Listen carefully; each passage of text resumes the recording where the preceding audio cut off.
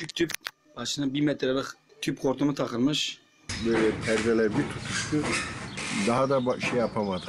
Evdeki sinek ve böcekleri pürmüzle yakarak temizlemek istedi ama Zarife Peker haşereleri değil evi yaktı. Hiç farkında bile olmadım. Nasıl oldu bir baktım. Evde de o günde su kestik aksilik. Erzincanlı aile Almanya'da yaşıyordu. Ramazan ayını Pınarönü köyündeki iki katlı evlerinde geçirmek istediler. Naylon perdeler biliyorsunuz ya işte. Hemen böyle sanki çıra yanı böyle. Ancak kullanılmayan evde sinekler ve böcekler yuva yapmıştı. Peker çifti o haşereleri yakmak istedi ama işler kontrolden çıktı.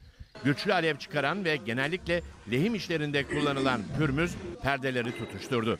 73 yaşındaki Rıza Peker evde çıkan yangını söndürmek isterken yaralandı. Bir ellerinde yanık var bir de şu kafamda falan. Yangında ev büyük hasar gördü.